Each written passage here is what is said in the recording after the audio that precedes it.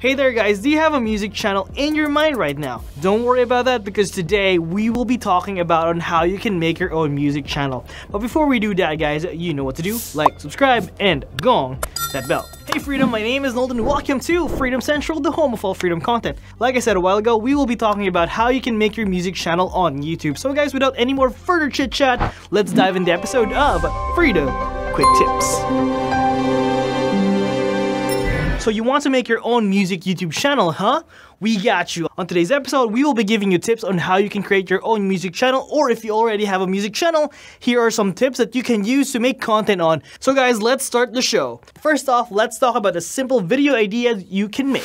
Number one is lyric videos and art tracks. Lyric videos hype up people. I remember when the Pop Goes Punk lyric video came out to fruition, I loved every single song there was. It's a way for your fans to look forward for the official video. Also, it gives your fans a chance to sing along with the lyrics, flashing every time you sing out the words. Number 2 is teasers and samples. This is one of the most interesting ways to get your audience anticipate even further the full release of the song you will be creating. It gives them a sneak peek of what the video will look like once it is released. These are some of the simple things that you can do to make content on in your music channel. Next up is let's talk about content that will be really fun for your viewers. These kinds of videos can use a little bit of interaction interaction with them as well. Number one is capturing behind the scenes footage. Capturing behind the scenes is a great deal for everyone because they will see what it is like behind the production of your videos. Who were the people behind the camera? Who were the people behind the shooting? Who are the brains behind the production or the video that you are shooting? Number two is QA sessions or maybe interviews. Interviews gives your viewers a chance to be next to you and have a better conversation with them. You will be able to get to know them more. It's another way to see what kind of music they want to hear,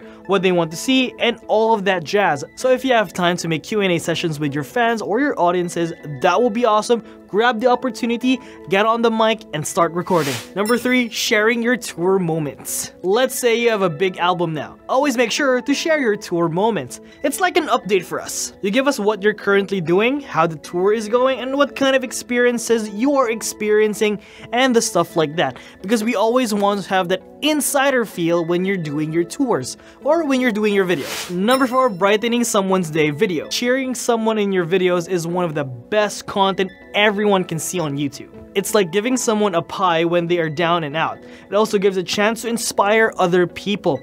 Majority of the artists around the world would want to spread inspiration and that is what music channels should do as well. In the first place, actually, when you want to make music, you want to inspire and connect to other people. Number 5. Find collaboration partners. These collaborations are the best way to make videos because your viewers get more variety and can watch more similar content. It is also another way for you to get a lot of viewers because you get the viewers of the one you're collaborating with and it's the same for him or her. All in all guys, collaboration videos is a win-win for everybody. Number 6 is music challenges. Can you do voice acting while singing? Like that video when someone was using Stewie's voice while singing Rap God. Or maybe you can sing a song that is out of your vocal range. Try to spice things up. Try it out. Maybe you can do amazing things that you do not know yet and also that will be good for you because the more you challenge yourself, the more that you can know what your strengths and weaknesses are. And that's the episode for today guys. If you have other tips for us to start your music channel, let us know down below. Share this to a friend who wants to start their music channel so that you can help them out in the future. Before you leave guys, leave a like, subscribe, and gong that bell. My name is Noel guys, bringing you tips on how to grow your channel. Always remember, freedom, quick tips. I'm gonna be seeing you guys on the next episode. Goodbye.